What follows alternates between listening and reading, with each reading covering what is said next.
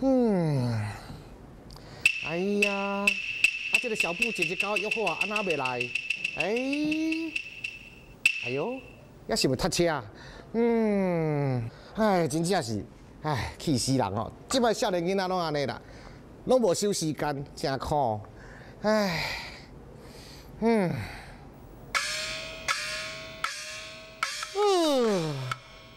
等嘛是咧等，啊好啦，加减无蒙梯，梯咧等伊。嗯，嗯，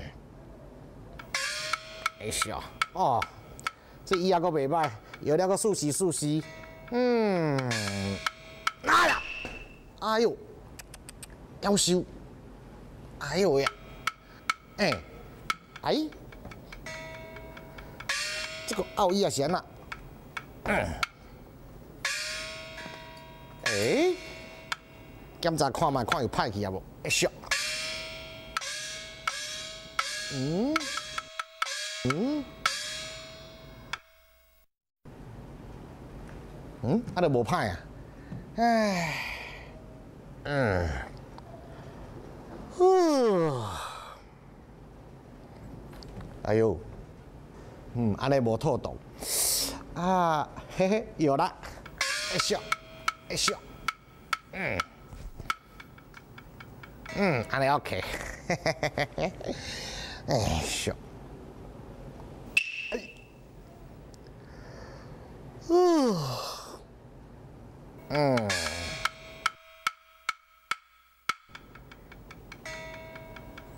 嗯，哎呦。哦，搁一摆，哎，啊好啊，这伊啊真苦啊，咧真搞怪，奥伊啊，真苦，奥伊啊，气死人，嘿，嘿，嘿。阿宝啊，你哪会伫遐只等伊等到啊？那嘛你啦，等你等无啊，害我坐伊啊，顶才困去，摔一个，哦，我脚肿有够疼呢。对不起，我不是故意的啦。可是我今天有准备好多好听的故事要说给你听哦。有影，啊好好好，看你这么有心意吼，安尼我原谅你。嘿嘿，什么故事？我今天要说的就是你的故事啊。我的故事？啊，什么意思啊？你也是偶的一种啊。我要说的就是偶的故事。哦，偶的故事，那我当然要知道啦。走吧。走吧。嗯，走。走喽。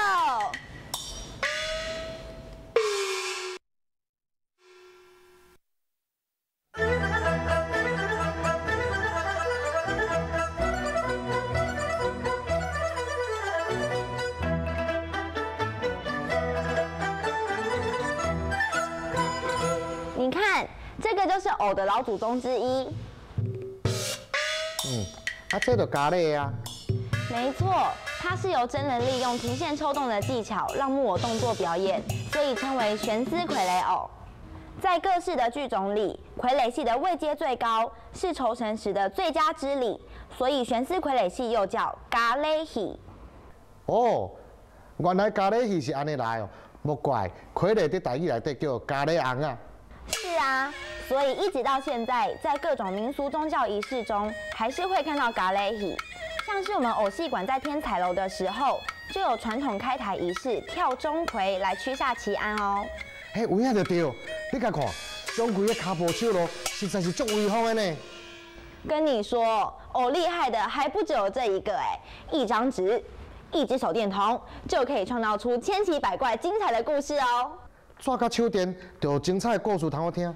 嘿，啊，这到底是什么红啊？哈，就是它皮影戏，在动物的皮上利用雕刻的方法制作出一个个戏偶，在偶的各个部位上设计可以活动的关节，让偶更生动哦。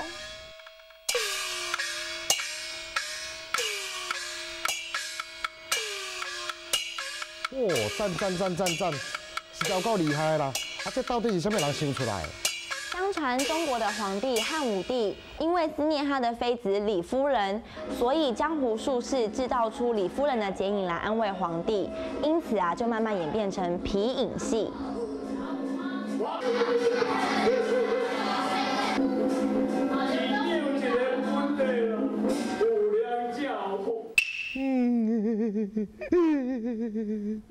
实在是有够感动的啦！果然吼，红啊有真侪款呢。对啊，那你想不想知道跟你最有关系的布袋戏偶是怎么来的啊？当然咯。早期的布袋戏演出就像这个样子，布袋戏的演师会背着煎蛋戏台到中国各地方去卖艺，只要自己一个人就可以完成所有的演出过程哦。哇，想出这款办法来表演人，头壳实在有巧哦。诶，小布姐姐，那到底什么时阵开始有布袋戏这款表演形式啊？传说大约在明末清初时，有位秀才一直无法考取功名，干脆回家乡说书了。为了让说书更有趣，他以自雕的木偶套于手掌上操演，受到了很多人的欢迎。也因为如此，布袋戏又称为掌中戏。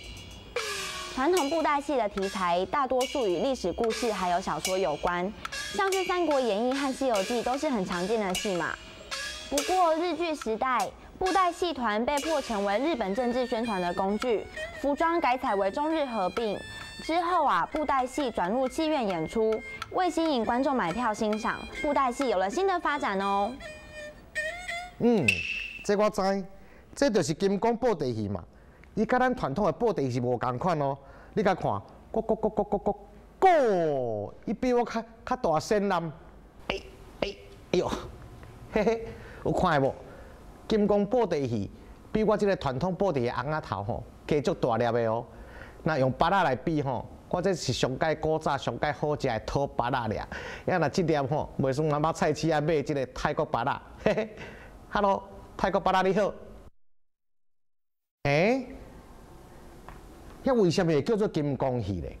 因为表演的舞台效果十足，看起来金光闪闪的，而且这类的戏码常常都是神仙和道士互相斗法，怎么打都打不死，就像有金刚不坏之身。而且啊，金刚的台语又叫做金公，所以这类的戏就称为金公布的戏。了解。哎，阿宝，你要去倒？我要等来开会。开什么会啊？开阮布袋戏的家族会议，我要等来去集合阮所有的布袋戏家族的即个成员来开会来讨论，看是要安怎做，才会当互咱即个传统布袋戏愈来愈精彩，也愈来愈好看，愈来愈受到大家的欢迎。布袋戏家族成员有谁啊？哈，你唔知哦？哈，安尼好，安尼我甲你介绍，简单来分，会当分做六大类：生、大、花、十、啊，加上我这个抽啊吼，总共是六大类俩。嗯，安尼好，我先甲你介绍上界大条的星，你连会看到，这个就是小星，上界烟头，上界飘撇哦。